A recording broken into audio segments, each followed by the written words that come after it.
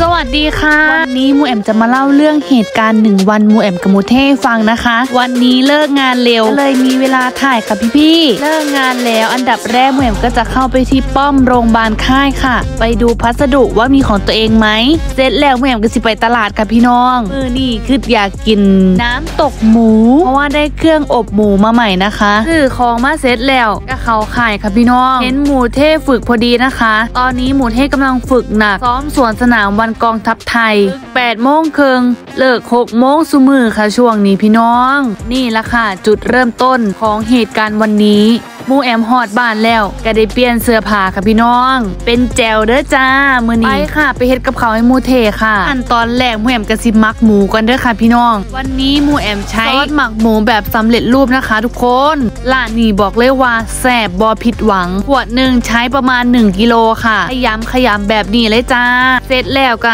ใส่ตู้เย็นค่ะพี่น้องหมูแอมแซ่ประมาณ20นาทีเด้อเพราะว่าเวลาหน่อยเสร็จแล้วหมูแอมก็สิใส่หม้ออบเด้อค่ะนี่แบบดีเลยค่ะ สะดวกสบายง่ายพร้อม ระหว่างที่เฮาถาหมูมูเทกกลับบ้านพอดีค่ะพี่น้องเราบอกเราจมเมื่อยค่ะบ่เว้าบ่จ๋าน้ำหมูแอมเลยค่ะให้ว่าใส่เกิมมายังในบ้าน แล้วก็ตอบหมูแอมว่าเป็นยังเดี๋ยวนี้สิถอดอยู่อย่าจมหลายไปเฮ็ดกับเขาไปฝ้าวเฮ็ดหิวแล้วว่าสั่นรอบนี้เราบ่ได้เว้าเล่นพี่น้องเราเว้าแบบใส่อารมณ์อะหมูแอมก็เลยเกิดการน้อยใจ บวกอยากให้พร้อม ก็เลยมาเฮ็ดกับเขาต่อค่ะพี่น้องขึ้นไปเฮ็ดไปเออ ย่าดอกให้มันพันๆไปซะเอามาเฮ็ดกับเขาให้เขากินคือเก่ากะเขาใจอยู่ว่าเมื่อยเฮ็ดกับเขาวถ่าอยู่นี่เด้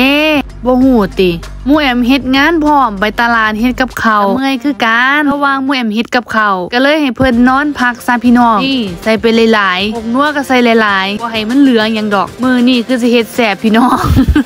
ผู้ใดมีสูตรแซ่บๆก็เม้นใต้คลิปเนี่ยเด้อจ้าใครบ่มีสูตรก็เบิ่งหมู่แอ๋มเอาเด้อนี่ละค่ะ พี่พี FC บอกว่าหมู่แอ๋มกับหมู่เท่ห์เคยทะเลาะกันบ่เลยว่าทะเลาะกันน้อยมากค่ะพี่น้อง เป็นการเครียดกันมากกว่าเครียดกันแล้วก็เงียบด่ากันแม่นด่ากันพี่น้องหมู่แอ๋มนี่แหละด่าหมู่เท่ห์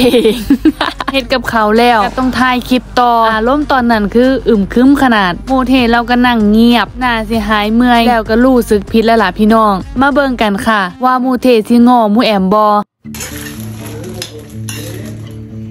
หวานนะหวานนะหวานนะ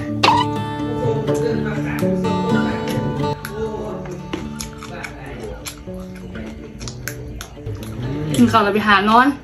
จบ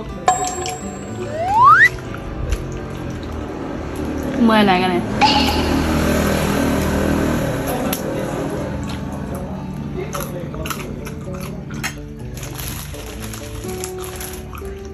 เรามันไม่เหนื่อยหรอกทุกคนเหนื่อยเขาผู้เดียวแหละยังไม่ขอโทษอีกเลย